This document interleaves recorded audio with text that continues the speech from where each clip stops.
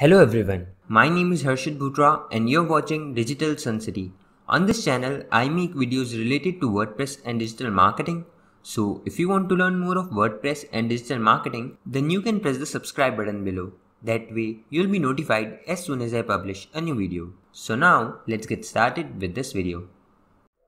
Custom fields are typically associated with WordPress post pages or custom post types. In the past, custom fields were visible by default on post edit screen of all WordPress websites. But now, since it's an advanced feature, the development team of WordPress decided to hide custom fields by default for all the new users in the WordPress 3.1 update. So that's why most of the people are not able to find the custom fields by default and in this video you will learn how to fix the custom fields not showing in WordPress so by watching this video you'll be able to show custom fields into your blog pages posts and other post types. So in order to do that let's first hold on to posts and then click on all posts. Now scroll over the existing post and click on edit. Now on the right hand side you can click on screen options. Now here you'll have the option to set visibility of custom fields. So you can mark that and once done you can scroll down to this page and you'll be able to see the meta box which says custom fields. So you'll find all of the custom fields here. So that's how easy it is to show custom fields in WordPress if they are not showing by default. I hope you like this video.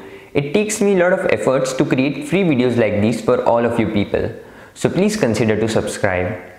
And if you have any questions or suggestions, then you can directly go to our website digitalsuncity.com slash help and then fill in the contact form with your question. I'll reply to that as soon as possible. Thank you for watching this video.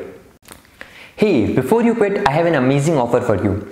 I am giving away free access to all of my digital resources to all of my viewers. These digital resources can be divided in two types. The first thing is layouts. This includes hundreds of templates for Divi, Elementor, Visual Composer and a lot of royalty free graphics which you can use on any website.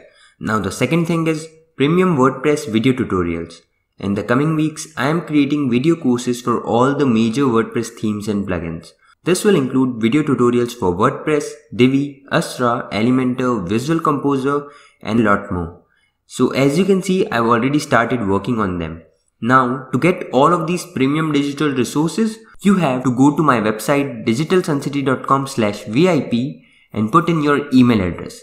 And then you'll receive an email which will contain all of these things. That's it.